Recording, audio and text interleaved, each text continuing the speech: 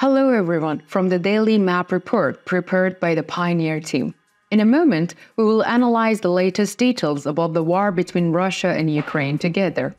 According to the latest reports of local and international sources, the Ukrainian armed forces are continuing counteroffensive operations in four sectors of the front line. You will be able to see it clearly when we start our report. The counteroffensive of the Ukrainian army has increased its power to a great extent. It is just a started.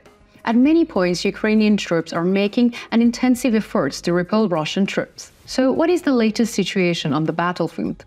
Let's take a look at the latest developments together. As the pioneer, we continue to transmit to you the confliction between Russian army and the Ukrainian army. Don't forget to subscribe to our channel and turn on notifications so as not to miss our daily map reports and reports on the agenda. I'm also reading all the comments you've made.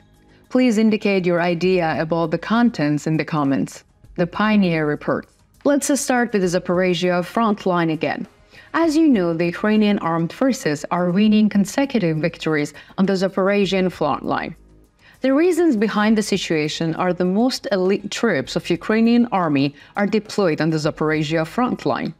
In recent days, the Urozhaine region had come under the control of the Ukrainian army.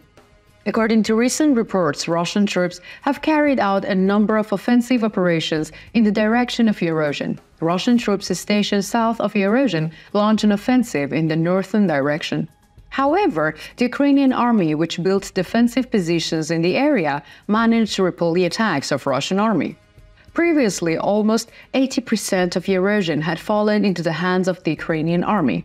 Russian troops, on the other hand, were maintaining their dominance in the two remaining neighborhoods in the south of the region. However, the Ukrainian infantry units, which went on the offensive again with the furious attacks of the Ukrainian artillery, managed to end the Russian dominance in these regions as well. The Urozhaine region is now officially under the control of the Ukrainian army. Many military experts have mentioned the possibility of this situation before, and we have mentioned the claims of these experts in the reports we have shared with you before. Military experts have recently opened a new discussion by making another claims. These claims are also that the Russian troops will completely withdraw from the positions they are holding south of the center of Urozhaine. Let's take a look at the region on the map. As you can see on the map, Zavitne Bazhannia is located south of center of Urozhaine. Russian troops had begun to build up their positions in the areas north of this village. I mean, I'm talking about the situation that arose after the retreat from Urozhaine. Some military experts claim that Russian troops in the region withdrew due to heavy losses during the Urozhaine battles, so they do not have the strength to wage a new defensive war in this region.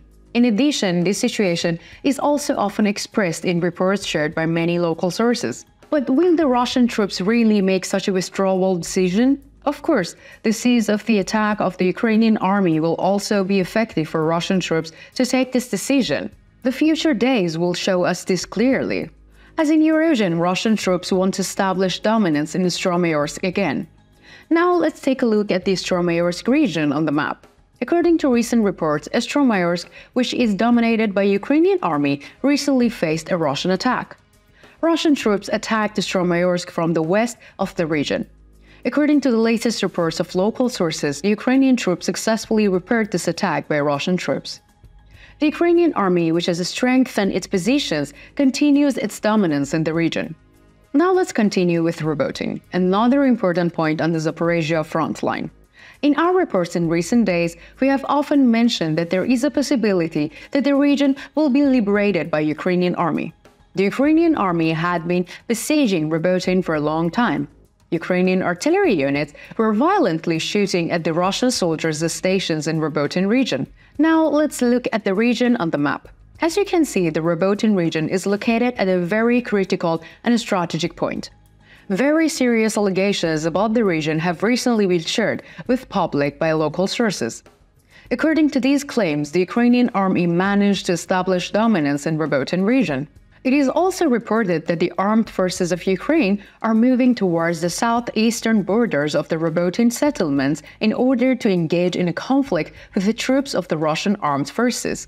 Ukrainian troops may be aiming to spread the fighting in this region over a wider area. In this way, the strength of the Russian army stations in one region will be divided. We can mention that the pressure of Ukrainian troops on the Russian troops will increase significantly in this way. In addition, Ukrainian troops are also carrying out quite significant attacks in the Verbov region. As you can see, the Robotyne zone is located quite close to Verbov zone. The Ukrainian army was trying to break through the Russian defense line located here. According to the latest reports, Ukrainian artillery units have severely hit the Russian defense positions, the stations in Verbov. According to local sources, Russian troops in the region suffered heavy losses during these attacks by Ukrainian artillery units. It is reported that the operations in the region are continuing and there are fierce clashes with Ukrainian soldiers and Russian soldiers. Let's continue with the latest developments on the Bakhmut front line.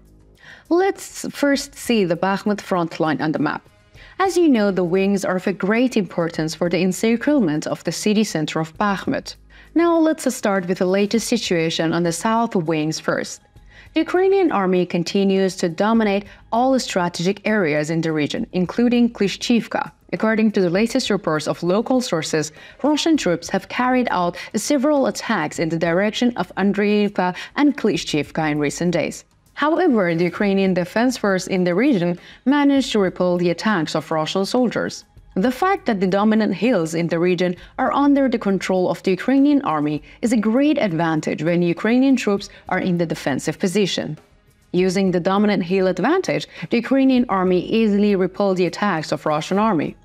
Ukrainian artillery units are also participating in both defensive and offensive operations in the region. The presence of Ukrainian artillery in the region is of a critical importance for the Ukrainian army. According to recent reports, Ukrainian artillery units severely hit Russian troops stationed in Kurdyumivka and Klishchivka, located south of Bakhmut. Now it's your turn. What do you guys think?